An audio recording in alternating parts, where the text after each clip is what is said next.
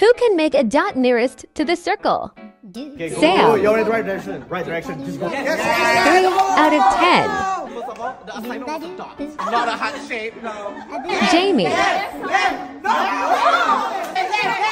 Five out of ten. Out when you win. Accurate. Okay, go. Two out of ten.